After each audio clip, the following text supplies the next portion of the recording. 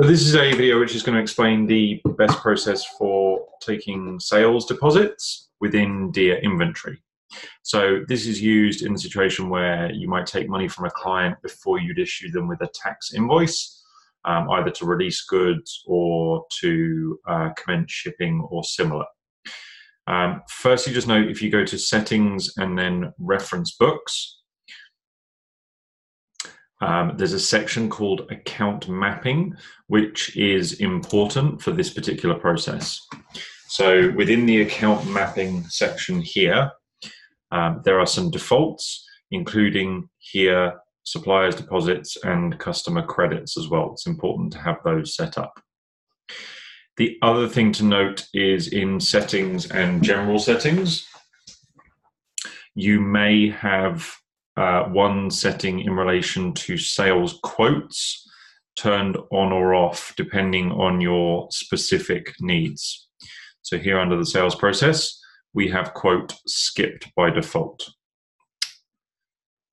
So here I'll go into a sale and place a new sales order.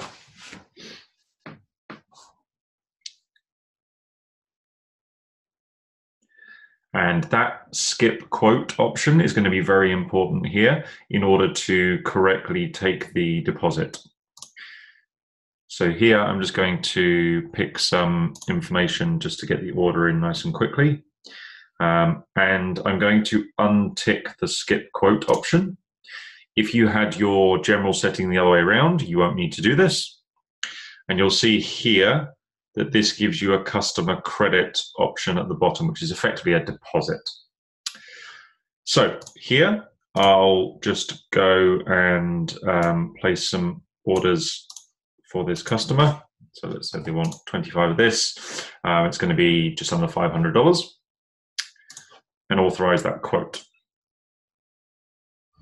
Now we have no order, no invoice but I can add a credit at this point or effectively a deposit. So I would click on the account. Just notice that that deposit account has um, filled automatically based on the first setting I showed you. Uh, pick, up, pick the bank account the money's going to be going into and the reference that they paid the deposit on. And let's say they paid a $100 deposit here. So that's now been created here um, automatically. So it's going to be a transaction between the bank account into a prepayments account or a clearing account. The reason for this being, and at this point I'll mention that we are not tax accountants, uh, but the reason here being until you have issued an invoice, it's not a tax transaction, therefore it shouldn't be shown on your sales ledger or similar. So that's the quote with the payment.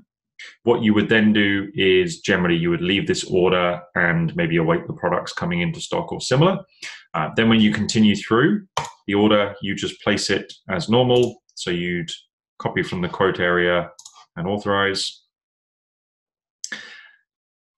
Uh, maybe pick pack shipping as normal. And then here you would get to the invoice and Oh, that's not wanted. My apologies. Um, pop the invoice date in. Due date fills out automatically.